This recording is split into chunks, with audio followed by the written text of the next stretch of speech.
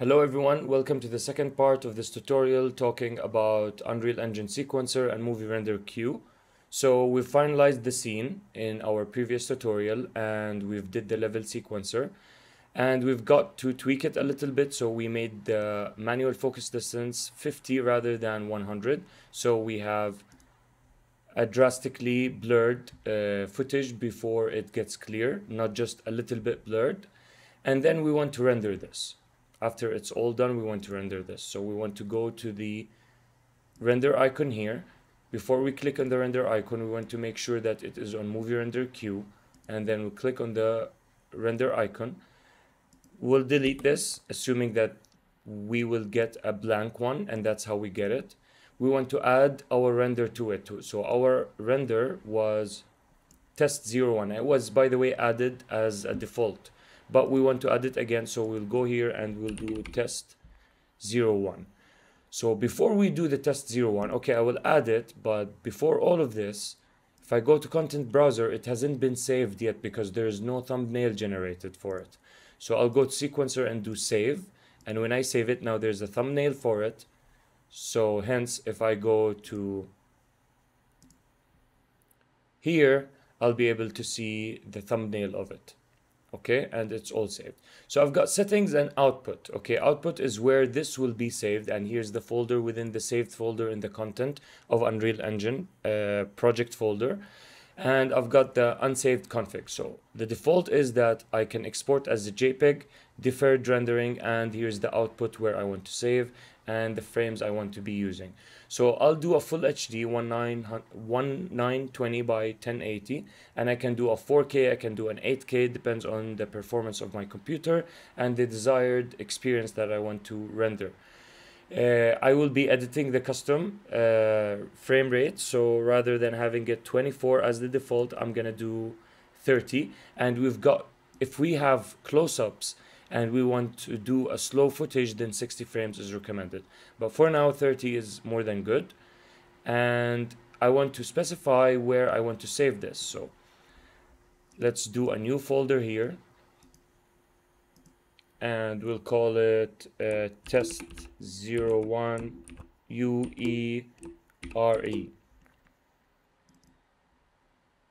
select folder so what I want to do now, I've done with the output settings that I want to export to. What I want to do is that I want to change the JPEG into PNG. So I go to settings and I can hover over exports and go to PNG and I can find PNG here. I can delete JPG now. Another thing I want to do is that I want to go to anti-aliasing settings and I'll leave it as is so we can compare between the two results that we've got and I want to go here into uh, console commands. Console variables. So what are console variables? Control variables are codes that control engine behaviors and can be adjusted at runtime to optimize performance rendering or gameplay without recompiling. So it steers our uh, rendering into a certain direction of light shadows texturing anti-aliasing and so many others and the common console variables that we usually use are screen percentage, global illumination, uh, anti-aliasing quality, texture streaming, and lumen reflection, shadow quality.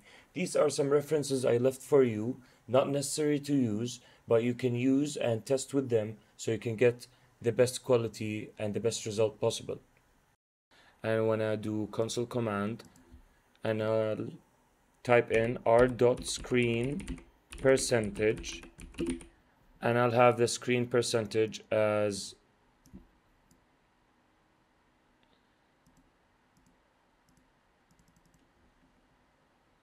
no this is on the start console commands. I need to be on the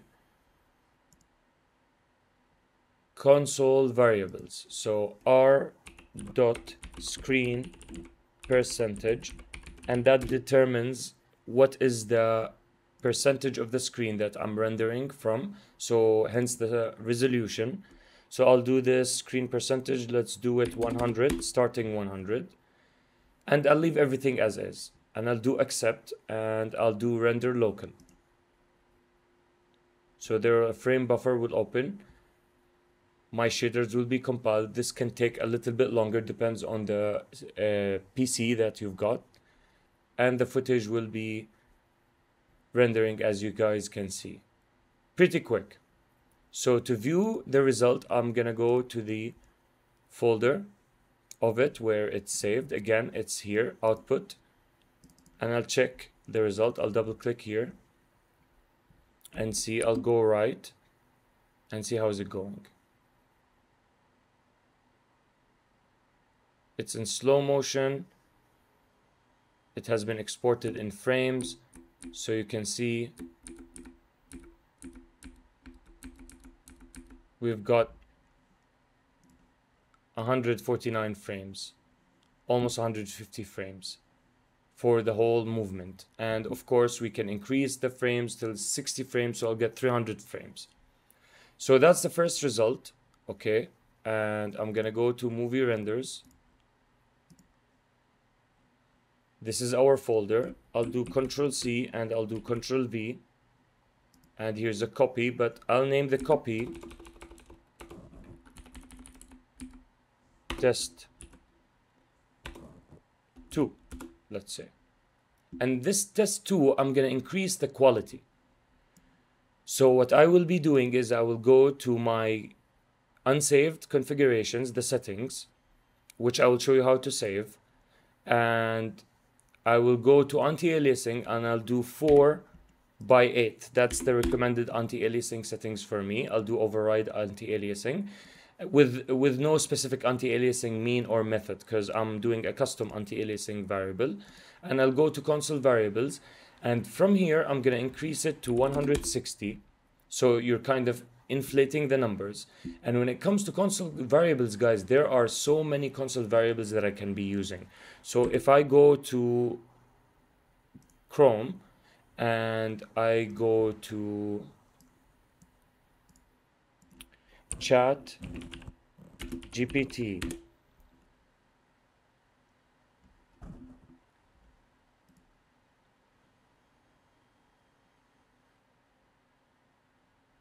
and from here I type in give me all the console variables recommended. Variables recommended for an ultra realistic Unreal Engine 5.5 movie render queue settings. Enter. And there you guys go all the console variables that I can be using and all the settings that I can be uh, implementing to get the best out of Unreal Engine when it comes to our rendering. One thing you guys need to know is that it's unrealistic to, for us to add all of these console variables into one rendering. I should probably be picking among these, not picking all of these because then it will take forever to render.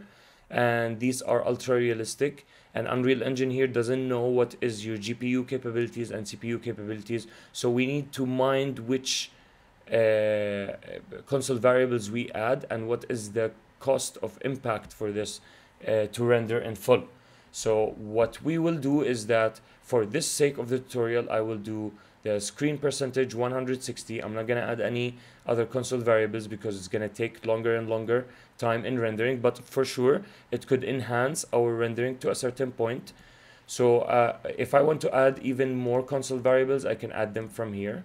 And if I want to let's say delete any console variables I can delete them and I can type in as many console variables as I want so for an instance I want to render this footage, the test 01 and other footages as well. So I want to save the preset so not every time I enter uh, uh, another preset because if I go here and let's say I add this footage and I go here, it's still the same, the, the default. So I need to put it all over again and it's going to take a long time. So what I do is that after I finalize my presets, I go here and I save preset and I go to the content, for example, or any specific folder and I name it Amer's presets. Mind you that Unreal Engine doesn't take a space so it needs to be an underscore save so now I've got Amers presets except once I want to load the same the same presets I go Amer presets yes and there you go I've got Amer presets here as well with the saved location of the project. I'm gonna uncheck this now. And by the way if you add as many as you want let's say this much okay? Unreal Engine will render one after the other. So I can add all my renderings and do the render local and leave and come back. And I'm gonna have all my sequencers rendered for me ready to you ready to edit. So I'll go to test 01 this is what we want to render. And we want to change where we want to save it so we can compare. So I'll do movie renders and test 02 no it's not the one. Here is it. Control all delete because this is the previous one. And we'll do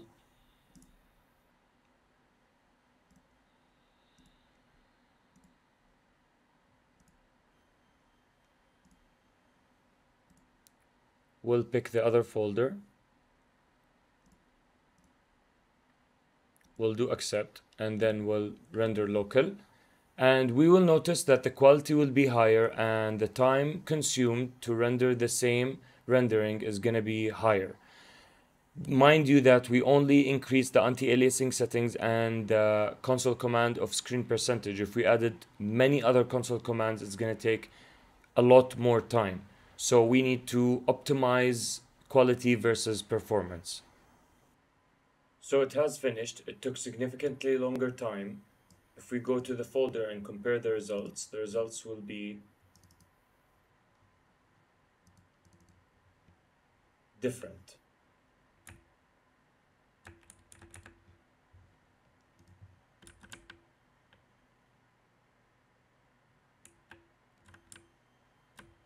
So to see it clearly, we'll go to the last frame. That's the last frame of the second test. And we'll go to the last frame of the first test.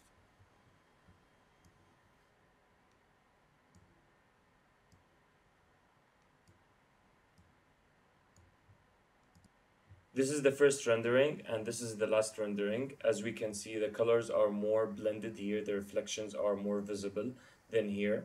Also, we've got this image is more denoised than this one. We've got the shadow quality here is much better than the one here. And the list can go on and on with the things that we can experiment with.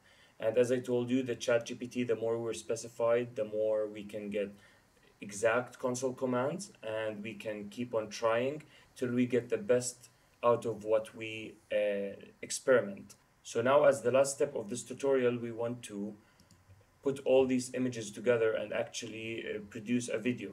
So one software can do this for us is Adobe Premiere.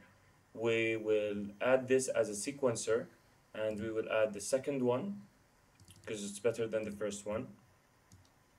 It opens as this. We'll do a new project and we'll name it for example test 02 because this is the one that worked. And we'll do create. And after that we're going to do right click and import here. And then we will take this path control C we'll go to the Adobe Premiere control V and we'll click on the first one and make sure that image sequence is checked and do open. And then we've got the track here. We'll drag and drop and do play. There you go we have our animation. And now we need to do file export.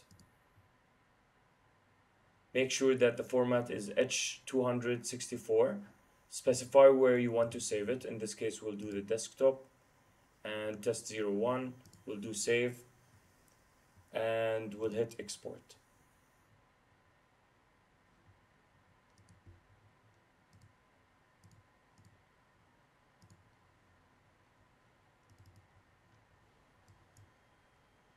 And there you go that's our video